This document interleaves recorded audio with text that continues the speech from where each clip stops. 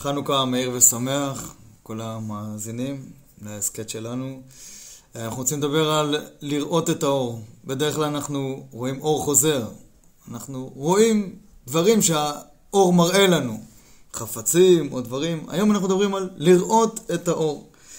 יש בספר זכור לאברהם, מביא בפתיחה שלו מדרש, לא נמצא במדרשים הקנונים שלנו, אבל חזקה עליו של הזכור לאברהם שבאמת הוא ראה מדרש כזה. שמקשר את פרשת השבוע וישב, שבדרך כלל חל בחנוכה, מכירת יוסף עם אה, נר חנוכה. הדודאים נתנו ריח, זה ראובן שהציל את יוסף. ועל פתחנו כל מגדים, זה נר חנוכה. באמת מופלא מאוד. הקשר בין מכירת יוסף לנר חנוכה, על פתחנו כל מגדים, זה נר חנוכה. אילו אנחנו היינו צריכים למקם את חג האורים היהודי, לא היינו יודעים איפה, היינו אולי שמים אותו כשהאור גדול איפשהו בקיץ. אבל אנחנו כבר מכירים שחג האורים, חג האור, הוא דווקא בשיא החושך. וכולנו אולי כבר מכירים, אם לא נכיר עכשיו, את המהר"ל, שהביא בספר נר מצווה, שאפילו מדייק את כ"ה, שהעולם נברא בכ"ה, האור נברא, האור הבריאה הראשונה נבראה בכ"ה באלול. ואחר כך רבע שנה עד ששיא החושך זה כ"ה בכסלו. ואנחנו מכירים את אדם הראשון, את הסיפור שהגמרא מביאה על אדם הראשון, שראה את הימים הולכים ומתקצרים, ופתאום בכ"ה באלול, כ"ה בכסלו, התחיל האור להשתנות, המעט מן האור. פתאום, בשיא החושך, רואים אור. מעט מן האור, המגמה משתנה. פתאום אתה לא, לא רואה לאור האור כשיא החושך, אתה רואה את האור. כשרואים את האור, פתאום אדם מואר, וזה מתחיל, וזה קורה. וזה המכבים. שהם באמת אה, ראו את החושך הגדול, ופתאום ראו איזשהו אור שיכול לצאת מזה. ואותו מעט מן האור, אחר כך אה, דחה הרבה מן החושך, מעטים מול רבים, זה לא היה לסמוך על הנס, הם פשוט הרגישו שהם אור והחושך נס מפניהם. באנו חושך לגרש, את החושך לא מגרשים במקלות כמו שאמר בעל שם טוב, את החושך מגרשים כשמדליקים את האור. וגם התעודה האלוקית הייתה עוד פעם מעט מן האור, נס פח השמן, שפח קטן הספיק אה, לשמונה ימים. וזה אנחנו רואים גם בתקנה של נר חנוכה, אותו מהדרין ומהדרין. זה לא רק איזה הידור להדליק הרבה נרות, זה נר מצווה. אותו אור מועט.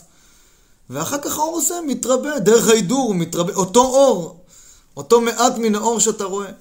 ככה גם בנרות, אין לנו רשות להשתמש בהם, אלא לראותם בלבד. לראותם בלבד, אני חושב שזה חלק מהציווי. זה לא רק לא להשתמש בהם, אם אתה לא משתמש, אז מה נעשה? לראות את האור.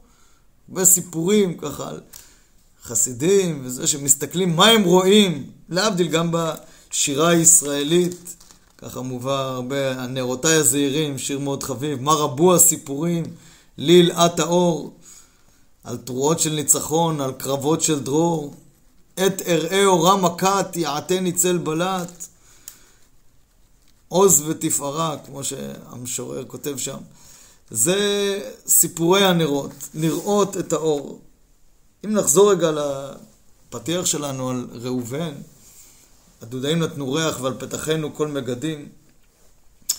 המדרש אומר, בשבת הראשונה של השנה, ככה אנחנו רוצים, על פתחנו, פתחה של שנה חדשה, אנחנו קוראים לזה שבת תשובה על שם ההפטרה, שובה ישראל. וחז"ל אומרים על ראובן, וישב ראובן אל הבור. אמר הקדוש ברוך הוא, מעולם לא חטא אדם לפניי ועשה תשובה. אתה פתחת בתשובה תחילה, חייך שבן בנך, כן, הושע בן בארי, בארי משבט ראובן, עומד ופותח בתשובה תחילה. לפתוח על פתחנו כל מגדים, פותחים את השנה קודם כל עם ראובן שהוא פתח בתשובה. תשאלו, גם אדם הראשון, גם קין אולי, זה מתוך צרה היה. אבל ראובן פתח, מאיפה לומדים שראובן פתח בתשובה? וישוב ראובן אל הבור. ומבינים שהוא שב, לא רק פיזית, אלא פתאום הוא שב בתשובה. האמת שזה פשוטו של מקרא. שהאחים בהמשך אומרים, ויאמרו איש אל אחיו, אבל אשמים אנחנו אשר ראינו צרת נפשו, והתכוננו אלינו ולא שמענו אליו, באנו הצרה. אחרי שהם מקבלים את העונש ופתאום נבהלים מפני יוסף, או אז בדיעבד. אבל ראובן, ויען ראובן אותם לאמור, הלא אמרתי עליכם לאמור, אל תחטאו בילד. אז הנה מפורש בכתובים שראובן פתח כבר שם בתשובה. אמרתי לכם, אל תחטאו בילד. ולא שמעתם והנה דמו הנה נדרש. אז ראובן פתח בתשובה. וככה המכבים, החשמונאים, מתתיהו, שראו את העולם הולך ונחשך. היוונים, כתוב שזה החושך זה יוון. ועם ישראל מבין פתאום, הכהניך הקדושים ויעתיו, שיש פה איזה אור פתאום, שצריך לצאת מהחושך הזה. זה התחיל אולי כבר בראשית אולי של, של שמעון הצדיק, היה משערי כנסת הגדולה, שהתחילה לשקוע כל הנבואה וכל ההשפעה הגדולה שבאה מלמעלה, בית המקדש הראשון. ואז שמעון הצדיק, המדרש מתאר את המפגש שלו עם אלכסנדר מוקדון, שהוא נראה אליו בחלום, אל שמעון הצדיק, והשתחווה לשמעון הצדיק. שהכהנים הם לא רק היו הגיבורים שהלכו לטהר מקדש, הם היו מחנכי העם. כשפתי כהן נשמרו דעת. חנוכה הוא בעיקר חג של חינוך, חג של תורה שבעל פה, חג של הופעה של תורה שבעל פה, חגה של תורה שבעל פה. זה אותו מעט, אז היה מעט, זה היה התחלה של תורה שבעל פה, שהמעט שהכיל המרובה. אז ראובן שפתח בתשובה, הוא בעצם פתח את הפתח. אחר כך, איך פותחים? כשאתה רואה שהחושך מכסה ארץ, פתאום נפתח פה פתח לאור חדש. מעט מן האור. אבל מעט מן האור הזה אחר כך הוא מכיל את המרובה. הוא מהדרין מן המהדרין, מוסיף והולך. ימים. וככה אנחנו גם uh, רואים בתקנה של המצווה, ונסיים את ה... ממש את מצוות הנר חנוכה זה uh, מי שתשכח עמה. זאת אומרת, הנה חושך מכסה ארץ.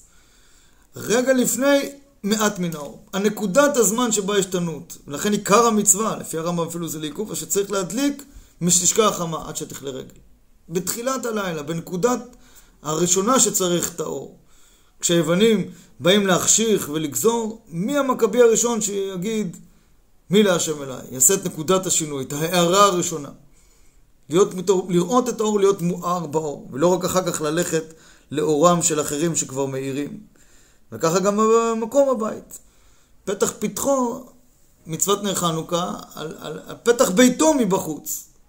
ספר שהרב שגר להאיר את הפתחים, את הפתח. הבית מואר, בחוץ יש חושך, אז טוב, אז נלך החוץ ועל פתח ביתו מבחוץ, כמו בדיוק בנקודת זמן הזה.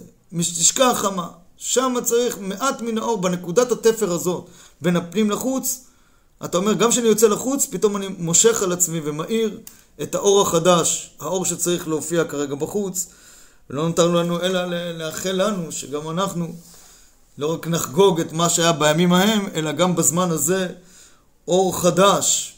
גם היום יש כל מיני חושך קצת שמכסה ארץ, ואנחנו צריכים לאחוז ולהיות מבני חשמונאי ש... של התחדשות. של אור חדש על ציון תאיר, בית מקדש נקרא אורו של עולם, ונזכה כולנו במהרה לאורו, אז שנזכה לשמוע את ה... לראות את האורות של הנרות ולהתחדש ולהתקדש מאורם חג מאיר ושמח.